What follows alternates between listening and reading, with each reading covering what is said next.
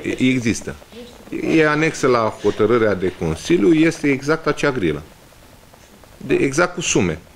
Deci nu, nu există absolut nimic. Noi ce am făcut practic prin această lege a salarizării unitare și până la urmă de ce a fost bine că a fost lăsat la uh, îndemâna autorităților publice locale, în sensul în care am reușit să eliminăm niște dezechilibre care existau. Pentru că am avut situații în care poate un inspector debutant intra cu un salariu aproximativ egal cu unui inspector cu o vechime foarte mare. Și atunci toate aceste inechități noi le-am le, -am, le -am reglat.